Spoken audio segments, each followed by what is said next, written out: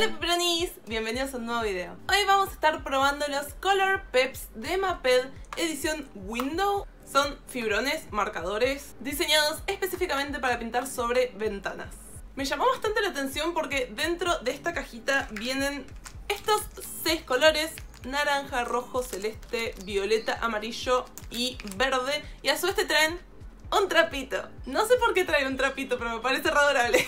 Se supone que es para limpiarlo, como que el tipo de microfibra que tiene es ideal para poder borrar estos marcadores. El diseño de los marcadores es así, está lleno de casitas. La verdad antes de abrirlo supuse que iban a ser marcadores tipo posca, como a pintura o a una cosa tipo témpera o acrílico, y se ven así, no sé si llegan a ver el tipo de punta que tienen. Me llama bastante la atención cómo se ven. No los probé para nada, solamente los saqué de la caja para mostrárselos. Tengo un portarretrato con vidrio listo para probarlos, así que creo que no hay mucho más para decir. Básicamente voy a tratar de hacer algo de Halloween porque octubre y porque miren estos dos colores, o sea, Halloween no hay otra opción. Así que nada, la primicia de esto es dibujás con estos cosos, borras con este trapito, están diseñados específicamente para vidrios y según la caja funcionan en cualquier superficie acristalada. Así que bueno, vamos a dibujar. Bueno, aquí tenemos la caja para que le puedan echar un vistazo más de cerca. Dice free, así que yo calculo que no es un producto únicamente para Argentina porque estaba escrito en muchos, muchos idiomas. Este es el diseño de las fibras y este es el trapito. Amamos el trapito, está muy bonito. Es cuadradito, es color rojo. Yo sé que lo están viendo, ¿no? Pero es como que fueron como detalles extra. Es un trapito muy bonito, como de microfibra.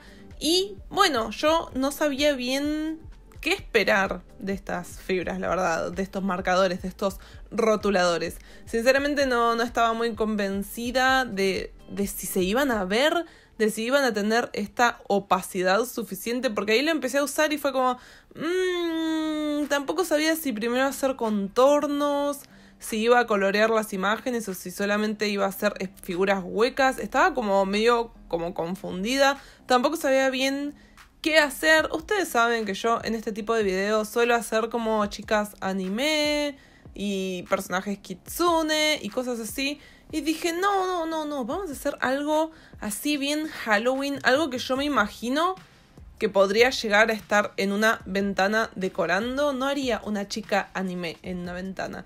Entonces dije, bueno, vamos a hacer una calabaza, así bien mezcla de kawaii con spooky, con no sé, cosas así bellas. Así que dije, bueno, vamos a hacer una calabacita.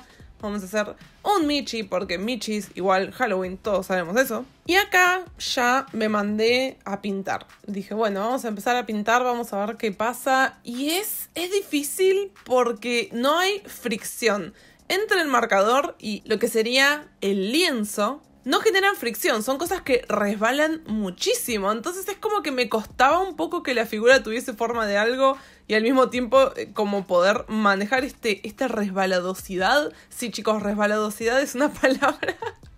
No, en serio, había poca fricción, había poca fricción entre materiales y eso al principio fue como raro, después me acostumbré, después me acostumbré, pero al principio era como confuso.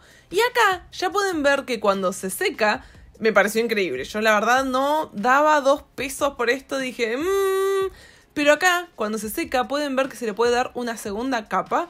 E incluso se me ocurrió empezar a superponer colores. Yo sé que esto podría haber sido mucho más complejo. Yo quería hacer como un dibujo rápido para probarlos. Así que no estaba tratando de decir, wow, miren qué pedazo de obra de arte. Era como para decir, bueno, probamos un poco los colores, vemos cómo funcionan. Y pueden ver que cuando los marcadores se secan se vuelven como opacos y queda como toda esta capa opaquita arriba de, del vidrio. Yo sé que por ahí muchos de ustedes me van a decir, uh, quizá eso es más viejo. Yo les digo, este tipo de test and review es para probar cosas que yo no conocía. No quiere decir que sean productos nuevos en el mercado, porque la verdad capaz que existen desde hace mil años y solamente yo era la que no los conocía. Pero bueno, yo quiero probar y darles mi review de todos estos materiales que para mí son nuevos. Acá pueden ver que se me había como expandido la tinta y dije, mmm, ¿habré sido yo? ¿Habré sido yo que le pasé la mano por arriba cuando estaba pintando? Como que en ese momento me eché la culpa. pero dije, vamos a estrenar el trapito. Así que nada, estaba feliz porque venía el trapito y dije, bueno, jeje, qué bien. Así que nada, lo probé. Dije, bueno, funciona porque yo también había pensado en un momento que iba a requerir agua, que había que mojar el trapo, pero probándolo así funcionó, lo levantó al toque y eso me dio a pensar que si le pasaba el dedo por encima se iba a correr absolutamente todo. Y pueden creer que no, una vez que se seca, no se corre tocándolo con los dedos. Rasqueteándolo, por ejemplo, dándole con la uña, sí, se levanta. Pero si uno simplemente le pasa el dedo por arriba, no se corre. Estoy sorprendida. Me gustaría probarlos en distintas superficies. Dice que solamente es para superficies acristaladas, así que calculo que no servirían bien en otras superficies. En una superficie mate, por ejemplo. Pero corrió tan bien la tinta, fue tan fácil, tan relajante, fue como terapéutico. Primero porque dice, ya les digo, un gatito y una calabaza. No dice nada así que me requiera pensar en anatomía o que me requiera pensar en otras cosas más complejas. Y por el otro lado, fue como gentil con mi mano. Ustedes saben que yo como que he tenido problemas de que me agarran como dolor de la mano. No llego a tener tendinitis ni nada así grave. Pero esto fue como... Uh, miren, este momento es crucial, chicos. Ahí se puede ver que la tinta se expandió sola. Yo tengo dos teorías. Una es que cuando yo empecé a limpiar el vidrio antes de, ponerlo para grabar, porque quería que esté impecable, yo usé alcohol y lo limpié con un papel y alcohol para que quede bien, bien, bien prolijo. Yo creo que pudo haber quedado una especie de residuo de alcohol y, por eso es que la tinta se expandió. Y otra puede ser que la tinta sea distinta a la tinta naranja, porque la tinta naranja no se me corrió. Y la tinta violeta sí se corrió. Entonces puede ser cualquiera de esas dos situaciones. O que la tinta violeta por ahí se expanda más. O que, como yo lo había limpiado antes, por ahí no se haya terminado de secar el alcohol. Y no se me haya hecho este efecto así de como que se expandió, como que se desparramó la tinta. Ahí en el rinconcito derecho hice una vela. Si no vieron el video de Kisatox donde estoy practicando velas, Ahí les está apareciendo en el rinconcito de la pantalla, ahí arribita. No olviden chequearlo si no lo han visto cuando termina este video. Y me pareció como una buena excusa incluirlas acá. Dije, bueno, ya veo que soy una experta en dibujar velas ahora. Em, em, vamos a ponerla acá porque para mí las velas derretidas dan este aspecto Halloween, este aspecto brujas. Ahí tuve más excusa para probar el rojo porque hasta ahora había probado únicamente naranja, violeta y amarillo y dije, bueno, vamos a poner rojo para el fueguito. El fuego tiene amarillo, naranja y rojo. Y ahí volví a usar el trapito, pero esta vez con la intención de levantar la pintura de la cola para poder poner la luz de la vela. No sé, este efecto de luz de vela me pareció como que quedó tierno. A su vez le incluí al costado al gatito un poco de reflejo de esta luz. Ya sé que no es nada muy complejo, ya les vuelvo a decir. Es como algo para probar materiales me sorprendió de manera muy positiva lo mucho que cubre ese amarillo.